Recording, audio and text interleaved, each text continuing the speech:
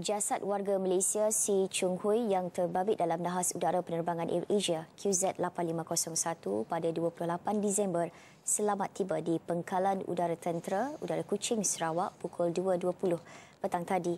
Ia diterbangkan dengan pesawat C-130 TUDM dari Landasan Udara Angkatan Laut Lanudal Tentera Nasional Indonesia di Juanda pukul 10.40 pagi.